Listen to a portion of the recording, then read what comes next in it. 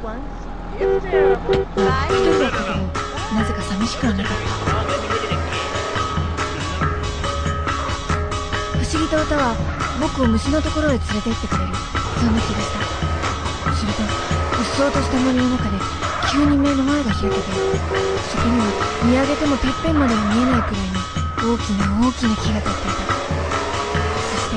その太くびっしりと地面を張った目の隙間に一匹の虫が止まっていたんだ?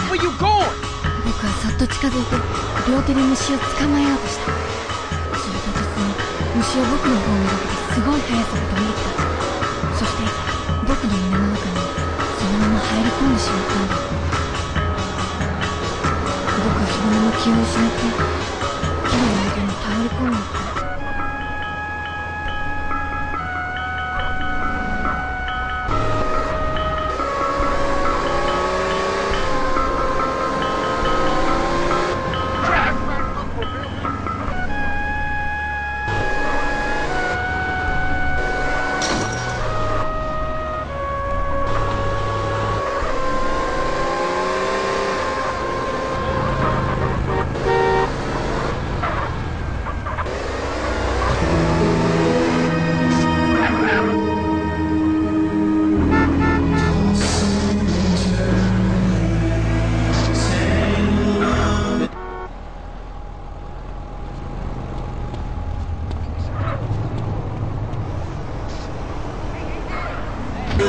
in my